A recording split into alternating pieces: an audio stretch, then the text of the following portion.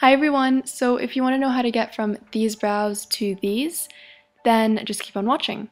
So I start by brushing my hair, like my brow hairs with a spoolie, and this is really good because you're putting all the hairs in the same direction so you can see the skin, apply the like product better, and it just uh, like makes an even application. So I start off with Anastasia Beverly Hills' Dip Brow Pomade in medium brown. And I'm just going to use an angled brush with that. This is Max 263 obviously I dip that into the um, product and I'm kind of like brushing on the direct same direction as my hairs. It's like kind of I'm creating different hair strokes, not exactly, but same kind of concept. And yeah, you just want to go through, I started off with the middle of like in the middle of my brow. And then when I get to the top, I brush my hairs down so that I can like brush down because that's the direction in which my hair grows. So I want to stay to the same direction as it grows. And then I work with the tail of the brow.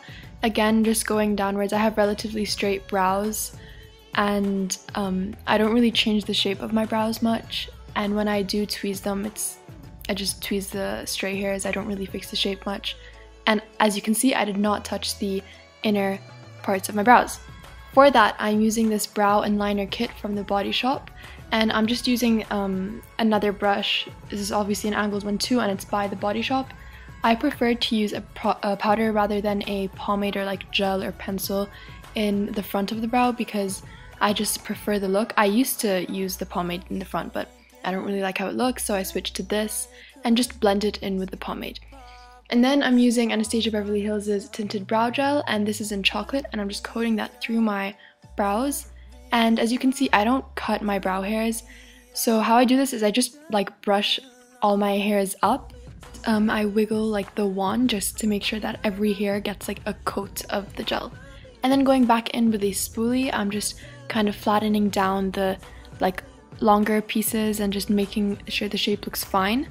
Then with Bobbi Brown's Creamy Concealer, and this is in Warm Natural, I'm just going to clean up the brows.